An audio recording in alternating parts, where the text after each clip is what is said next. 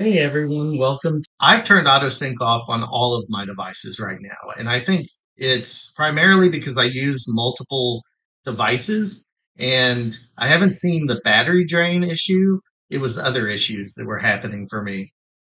So when it launched, you would have everything trying to sync all at once. So if you opened your device, it tried to auto sync right away. So if you opened your flip cover, automatically it was going to auto sync. Anytime you opened the web app or the desktop app, if you had auto sync enabled, it was going to try to auto sync. So everything was trying to communicate with the cloud at the exact same time. And when I reached out to Ratta, they said, whoa, if you have more than one device, that's going to cause a problem. We suggest turning auto sync off on at least one device. It's not a big as big an issue on the desktop app and the mobile app, I think, because I don't tend to open all of those at the same time unless I'm demoing something. So for daily use, if you have auto sync on and you use one device, I think it should be okay.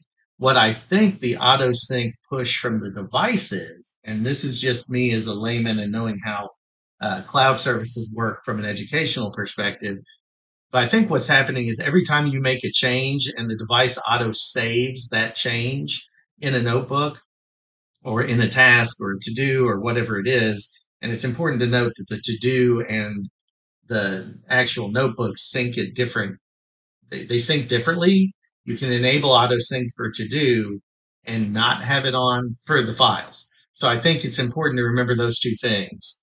And once you do that, I think that kind of illuminates why this keeps happening or why this changes and why it's trying to sync as you're making changes in those notebooks, it's trying to keep the files up to date on the cloud so that when you go then to the desktop app, it's a seamless experience. I'm not saying they've gotten there yet because obviously there's some kinks. My issue was multiple uh, conflict files and it wasn't syncing to the cloud or it was syncing to the cloud and not down to the desktop app or it was syncing to the device but not the cloud, not to the desktop app. So there were a lot of communication issues. I think the biggest thing now is if you keep the auto sync off and you manually sync, I've seen a lot less issues. Now, that doesn't mean in the future we don't want them to get that right. And I'm just a little hesitant to turn it back on because of what's happened.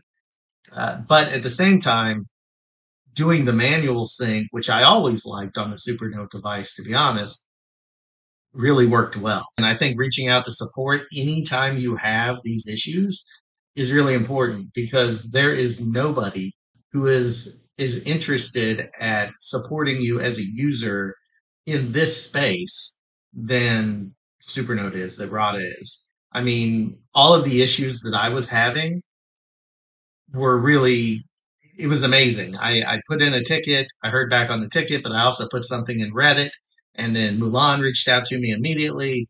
And all of a sudden, I was working on the back end through Reddit, through direct messaging, talking to them and the team about, hey, how do we fix this? What are the issues? Can you send us more screenshots? Here's a patch. And I mean, it was it was really amazing to see the level of engagement they were not just working with on me, and I hadn't done a video on this, so it was just a user on Reddit making a comment. And I think that that was uh, really helpful.